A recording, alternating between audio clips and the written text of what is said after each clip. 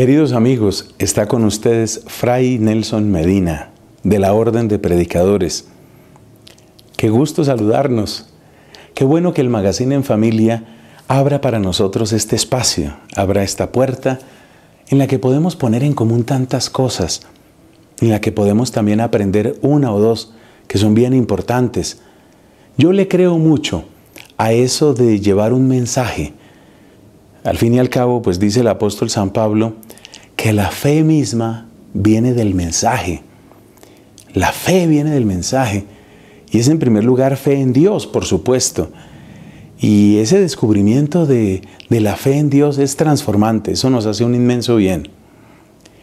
Pero sin dejar de lado que Dios es nuestro mejor amigo y de eso vamos a tener un programita especial en, eh, en alguno de estos que vienen, yo quisiera referirme hoy a los espacios de la amistad, que es como eh, en lo que hemos venido en estos últimos capítulos dentro de nuestra serie de la amistad. Hemos hablado de cómo el hecho de ser pareja no puede anular los bienes que significa ser amigo. Y hemos hablado también cómo hay que cultivar el don de la amistad en la familia, muy importante, en la familia cultivar la amistad. Y ahora quisiera referirme a la amistad dentro del ambiente laboral. Yo creo que tenemos un grave peligro en nuestra sociedad y es mirar al trabajador como si fuera un recurso más, como si fuera un engranaje más, como si fuera una máquina más dentro de un aparato productivo.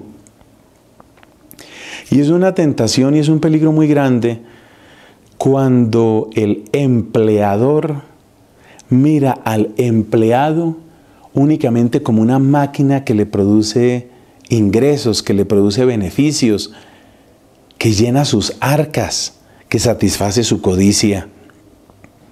Pero cuidado, también está el otro peligro, también está el peligro de que el empleado mire al empleador únicamente como una máquina que le produce billetes, como una especie de cajero automático. Necesitamos sanear muchísimo nuestros ambientes laborales. Yo siento eso en el corazón. Necesitamos empleadores que sean mucho más humanos, mucho más cercanos, mucho más capaces de comprender el paso, la situación, la necesidad y también el crecimiento personal de su empleado. Pero también necesitamos empleados que tengan sentido de pertenencia, que no miren la empresa únicamente como la fuente de sus ingresos, como la fuente de su dinero, sino que miren a la empresa como un camino digno de realización personal, como un camino de encuentro con otros seres humanos, como una oportunidad maravillosa de hacer un bien en la humanidad y de dejar una huella positiva en este mundo. Quizás mientras digo estas palabras, viene a tu mente lo mismo que está llegando a mi mente, el ejemplo de Japón. Sabemos muy bien que las grandes compañías en Japón, por decir algo, Toyota o Sony, ese tipo de empresas no han llegado donde están simplemente por la fuerza de salarios y por la fuerza de luchas sindicales, sino que han llegado ahí por que han sido capaces de crear un clima. Entonces en esto de la amistad dentro del trabajo, yo creo que nosotros no podemos ser románticos, no podemos ser idealistas y suponer pues que en el trabajo todos juntos ya, todos somos felices, todos como si fuera una ronda infantil, como que todos son mis mejores amigos, todos me quieren y yo los quiero a todos.